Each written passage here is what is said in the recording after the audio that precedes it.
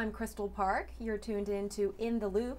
Today, our guest is the Director of Montgomery County Public Libraries, Parker Hamilton. Parker, thanks so much for being with us today. Thank you for having me. Um, Parker, you've worked in many different libraries throughout your career. What makes public libraries in particular special?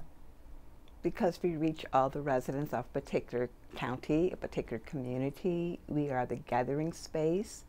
We are a trusted um, first stop for folks who want information.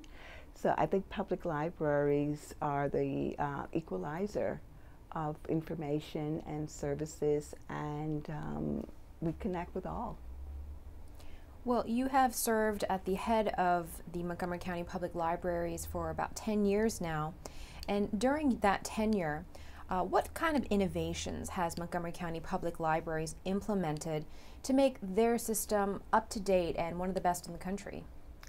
First of all, um, let's add two more years to the 10 years. 12 years, okay. 12, 12 years. And it's been exciting um, 12 years because we had um, a lot of challenges, um, budgetary challenges, and because of the introduction of technology, and because the demographics of this county have changed, we had to evolve um, in order to be relevant to all of the residents of Montgomery County. So, with the technology, with the um, demographics, we have added workforce development programs. We ensure that we complement what is happen, happening at Montgomery College as well as the public schools. And, and we believe that our customers define what public libraries should look like and be. If we decided that we wanted to do a program or a service and we did not do our job by talking to the community and we invested, say, $500 and um, brought in a guest speaker and one person came up with that program, we didn't do our job. Have you found that the residents of this county have been very communicative with you guys and been um, an integral part of developing the library system here? Absolutely. We um, did a uh, summit. Mr. Leggett had a um, library summit of the future about two years ago. And prior to that, he had um, one, I think it was like 2009. So we believe that we need to hear from our residents and not hear from the people who are smart and know how to communicate with county. We want to hear from those new residents, people who are new to having their voice heard. And so we go out to the community. We have outreach workers. We use technology in order to talk to our residents on the street all of our branches have what we call a library advisory committee, and those are members from the community to advise the agency manager about what is happening in the community and what they believe would be the best programs and services for that branch. And then I, in turn, have a library board, and they advise me on behalf of the entire county. We're very fortunate in Montgomery County to have a Friends of the Library group. And so with the Friends of the Library, Montgomery County, their chapters with the Library Advisory Committee, the Library Board, and our doing an intentional outreach to the residents of this county, I believe that we're hearing all voices. I discovered probably about five years ago that we were making decisions based on a very small group of people who did not look like the residents of Montgomery County, and we needed to turn that around. And I think we've been very successful in turning that around.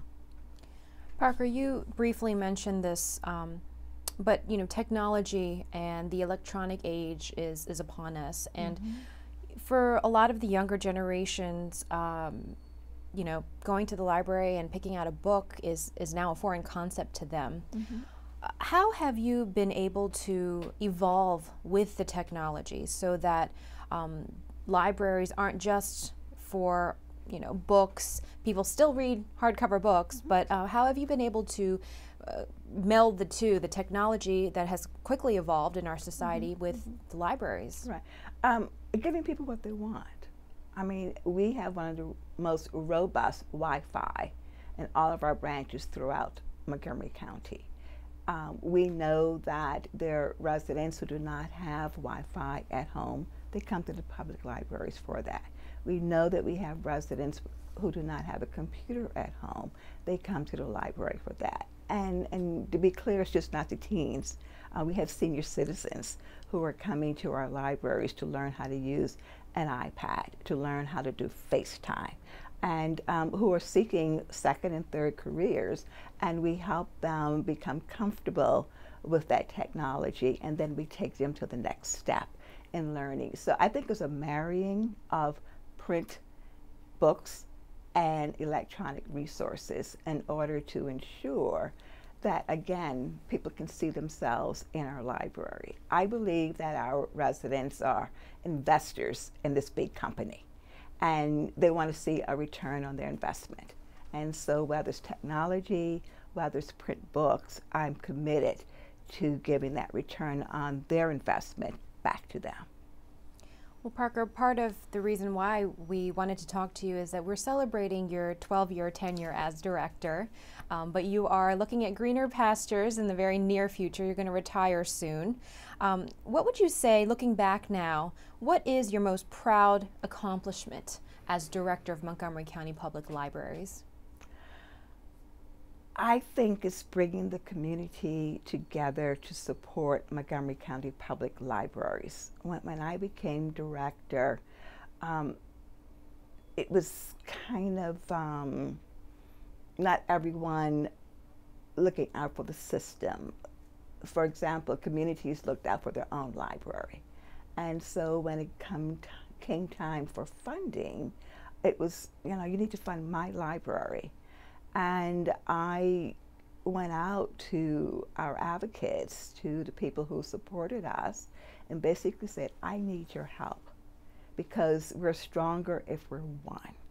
And so being able to bring the communities together behind one Montgomery County Public Library Systems, going to the council, going to Mr. Leggett and advocating for Montgomery County Public Library systems have impacted all branches in a very positive way. And I don't think we would have been able to do that if we had continued to advocate as individual communities. The University of Maryland recently created a scholarship in your name can you tell us a little bit about the scholarship? What what is um, the, the the particular name of the scholarship, and who is eligible, and what does the scholarship offer? Well, this is all new to me. This was quite a surprise and quite an honor. I don't know much about it. I do know that um, it's the B. Parker Hamilton Scholarship for Inclusion and Innovation. And so it represents the work, my commitment to um, serving the residents of, of this county. Um, I understand that it's not going to be a whole lot of money, so anyone who wants to donate to make it more money, that would be great. But um, it will be an opportunity for library science students who would like to enter public libraries, who believe in diversity, who believe in innovation and inclusion to get a little bit of money to help them achieve their goals and objectives. Well, uh, speaking of that, uh, in terms of the next generation and the incoming, um, what words of wisdom would you have for the incoming director who, who would take your spot? I would tell her to get to know the community, um, become a collaborator with the community. Do not feel as if he or she must do it all one of the things I'm really proud of is, is the collaborations I've formed with nonprofit organizations, with other departments, because at the end of the day, we're serving the same people. And so working with MCAEL, working with Gandhi Brigade, working with the Kid Museum, the Department of Health and Human Services, the public schools. One of the things that we're able to do with the public schools is we have a program called Library Link and every student in Montgomery County Public Schools will have an opportunity to get a library card. and then we will introduce them to the programs and resources that we have, especially in the area of STEM. So I think um, recognizing and understanding that you can't do it by yourself, and at the end of the day, we're doing it for the residents of Montgomery County. So why not collaborate and partner with other organizations? We have a great partnership with the Jack and Jill chapter of um, Potomac. Uh, for the past eight years, they've donated diverse books to our system. That has helped us. And um, so we have to do it together. Yeah. Parker, what would you like to see Montgomery County Public Libraries accomplish in the next few years? How, what would you like to see once you've stepped away? What would what would make you happy to see MCPL accomplishing? I want all of our meeting rooms to be smart. By that I mean that I want um, business people to come in and use our space in order to pitch a business plan, to do Skype. I would like to see us continue the pilot of not charging fines for children's materials. That is a barrier to um, families using our libraries. We have had um, cases where parents have gone to the circulation desk and they have discovered that they have had have fines on their records and they've said to the child, you have got to put the books back because I not, cannot pay this fine. We cannot have that in Montgomery County. So I would like to see that continue. I would like to see more contemporary conversations and programs that um, people your age uh, will want to come and, and attend. I want to see us out in the community more. Um, I would like for OHR, Office of Human Resources, to help us find a way to really um, hire people um, of diverse backgrounds. We, we talk about having a pool of people who are diverse. At some point, we need to understand that in order to get people who look like the residents of this county, we probably need some stronger recruitment tools that, that we can put in place. I would like to see um, a teen coordinator. We do a lot of work with the Positive Youth Initiative. I think we need to have a teen coordinator in the library system, just like we have a workforce development coordinator, just like we have um, an early literacy coordinator. I would like to see more libraries open on Sundays. I would like to see longer hours at some of our libraries. A long list of a long hopes. list of, of, of, of wishes, and um, you know, Mr. Leggett has been a great leader, and in terms of um, library services and, and programs, and um, unfortunately, we had a recession, and and I think we're all um, doing better work, better services as a result of that recession because you had to make tough decisions. You, you, you had to prioritize, and I think generally speaking, the library system has ended up in a very positive way um, as a result of having to make those tough decisions. We had to talk to our investors, we had to talk to the residents, and, and I think we're. Um, we're known as a very progressive library system. We have won a number of awards because of our programs and services. Uh, being a director is a very complex job. Yes, it's, and we thank you for yeah, your service. Very, it's a very complex job, but I think together we're able to give the residents what's relevant for them.